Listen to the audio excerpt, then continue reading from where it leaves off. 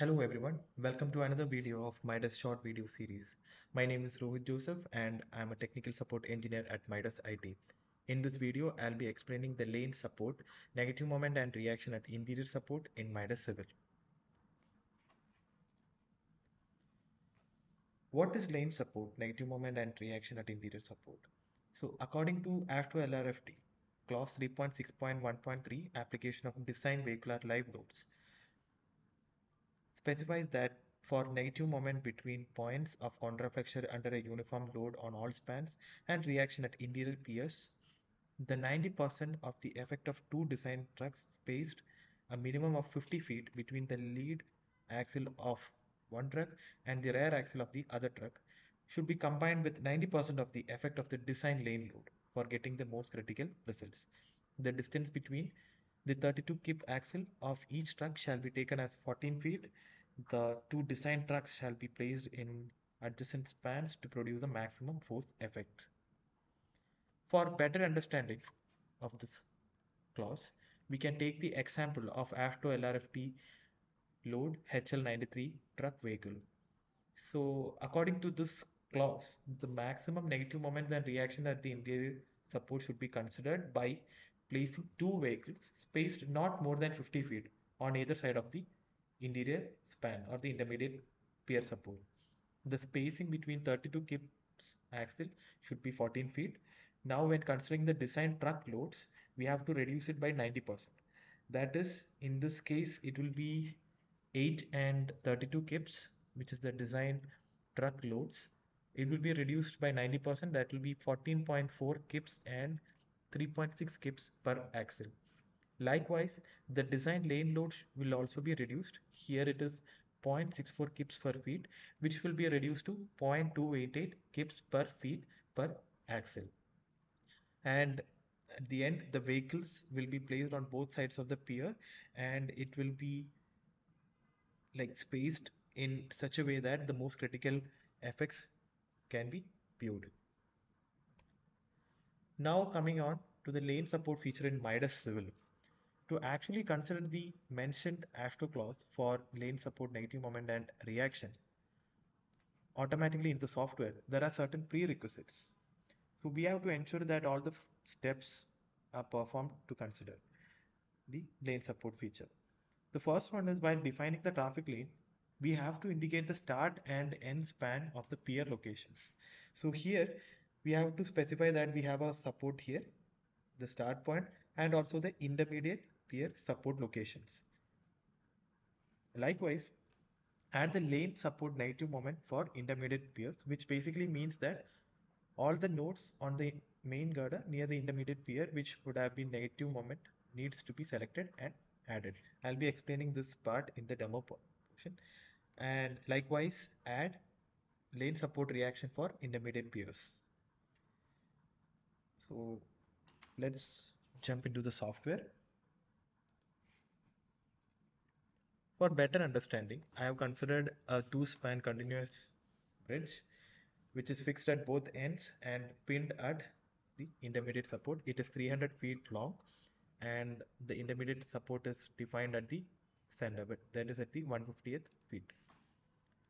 Now the first step is defining the uh, start and end spans span points for that go to traffic line lanes this is applicable for traffic surface lanes too. So click on the traffic lanes. I have already defined it. So in the first element i have considered a support. So here we have to check this box on. Likewise on the 150th element see that on the 150th element i have defined the intermediate support. So here at the 150th element we have to check this box on. As you can see here the end span is not necessary but yes you can provide it. Now the next next step is defining the lane support negative moment. So for this purpose we have to define a structure group. Girders I have defined it already. Here we have 300 elements so I have defined all the elements here 1 to 300 select the girder uh, structure group, click on add. Now go to lane support reaction. I have defined the support at node number 151. So select the node number 151, click on apply. So you can see this here. Let's log the model. Now see the results. Go to results, moving load tracer, beam force or moments. First, let's see the lane support negative moments. For that, I'll be considering the 150th element, which is close to the negative intermediate span. MV min for seeing the hogging moments. Gone, apply. Now, here you can see both the vehicles are uh, placed on both sides of the intermediate support. The design truck loads is reduced by 90%, which is 14.4 and 3.6.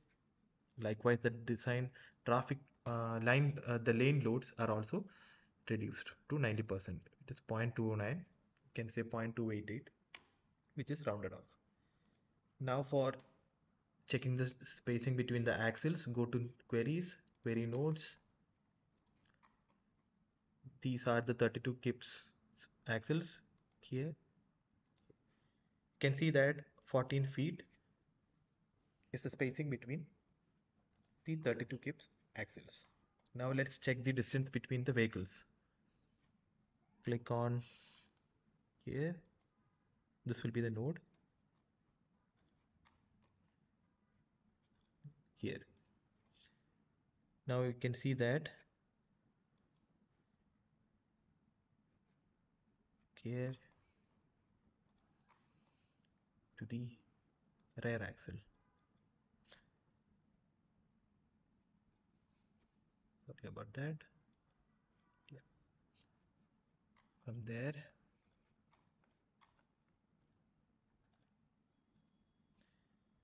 can see that it is spaced at 75 feet apart. Likewise, to see the reaction at the intermediate pier support, go to results, moving load tracer, reactions, select the node 151,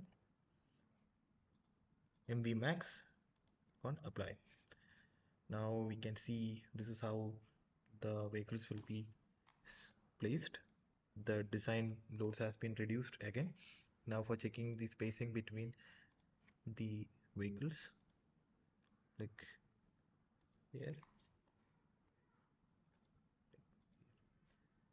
You can see that it is spaced at 49 feet. Ideally speaking, this will be 50 feet apart. You can see 51 feet, but it is kept in between, placed in between two elements, in between an element. So that is why this one feet difference is coming. So I hope this is clear.